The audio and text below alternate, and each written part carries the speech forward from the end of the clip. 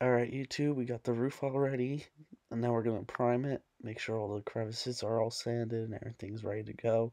There's still some dust on top of this roof right now that you may see. We're going to wipe it all away, make sure this is all smooth and clear, so that we can actually spray this primer and make sure that there's nothing left like dust on the panel. Stay tuned, I'm going to show you what it looks like after I spray some primer.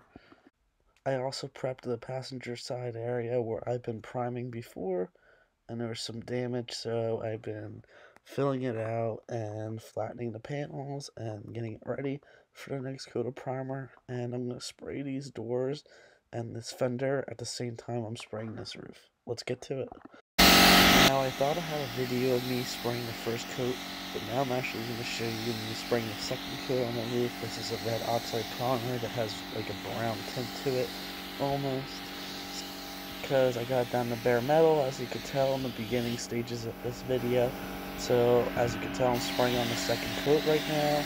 I do have it at a very thick viscosity almost because I didn't like to reduce the primer too much because I find I like to spray my primer on a little bit thicker in the beginning so that I don't have to worry about it when I start to block sand. I don't want to fade through the panel and I'm still doing my block sanding and shaping of the panel.